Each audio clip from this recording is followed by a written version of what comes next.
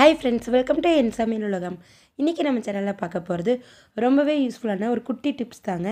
Video ஃபுல்லாக skip பண்ணாமல் பாருங்கள் உங்களுக்கு பிடிச்சிருந்துச்சுன்னா லைக் பண்ணுங்கள் நம்ம சேனல் இன்னும் சப்ஸ்கிரைப் பண்ணால் சப்ஸ்கிரைப் பண்ணிவிட்டு பக்கத்துக்கு பெல் ஐக்கானு கிளிக் பண்ணிக்கிங்க. இப்போ வாங்க வீடியோக்குள்ளே போகலாம் எலுமிச்சம்பழம் இந்த மாதிரி ஃப்ரெஷ்ஷான எலுமிச்சம்பழமாக இருந்துச்சுன்னா கீழே வச்சு இப்படி உருட்டிட்டு நீங்கள் எடுத்து அதுக்கப்புறமா கொஞ்சம் ப்ரெஸ் பண்ணிவிட்டு நீங்கள் கட் பண்ணிங்க அப்படின்னாலே நல்லா சாறு வருங்க.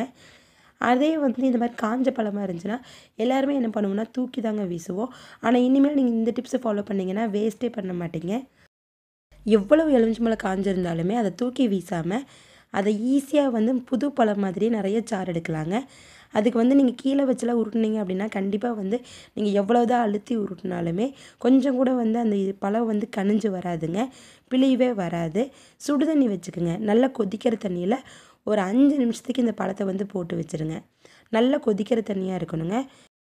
ஒரு அஞ்சு நிமிஷத்துக்கு நல்லா கொதிக்கிற தண்ணியில் போட்டு வச்சு அதுக்கப்புறம் நீங்கள் எடுத்து யூஸ் பண்ணி பாருங்கள் ஃப்ரெண்ட்ஸ் எவ்வளோ கெட்டியாக இருந்தாலுமே எவ்வளோ காஞ்சி போய் இந்த பழம் இருந்தாலுமே சுடுதண்ணியில் ஒரு அஞ்சு நிமிஷம் போட்டு எடுத்துட்டிங்க அப்படின்னா நல்லா வந்து இலகி வந்துடுங்க நீங்கள் அதுக்கப்புறம் ஃப்ரெஷ்ஷான பழம்லாம் தேய்க்கிற மாதிரி கீழே வச்சு நல்லா ஒரு ரெண்டு மூணு நிமிஷம் உருட்டி விட்டுட்டு அதுக்கப்புறம் நீங்கள் பிழிஞ்சிங்க அப்படின்னா நிறையா சாறு வருங்க.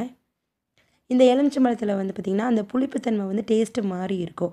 காஞ்ச பழத்தில். அதனால் நீங்கள் அதை வந்து சமையலுக்கு யூஸ் பண்ண வேண்டாங்க. அதுக்கு பதிலாக க்ளீனிங் பர்பஸ்க்குலாம் யூஸ் பண்ணலாம். எலுமிச்சம்பழ சாறு வச்சு உப்புக்கரை எல்லாத்தையுமே க்ளீன் பண்ணலாங்க. மெயினாக சிங்க்கு க்ளீன் பண்ணலாம் அடுப்பு க்ளீன் பண்ணலாம். உப்புக்கரை படைஞ்சிருக்கிற எல்லா பக்கமுமே எலுமிச்சம்பழ சாறு கொஞ்சமும் பேக்கிங் சோடாவும் போட்டு நீங்கள் க்ளீன் பண்ணிங்க அப்படின்னா ஈஸியாக வந்துடுங்க இந்த மாதிரி கிச்சனில் க்ளீனிங் பர்பஸ்க்கு வந்து இந்த சாரை வந்து யூஸ் பண்ணிக்கலாங்க.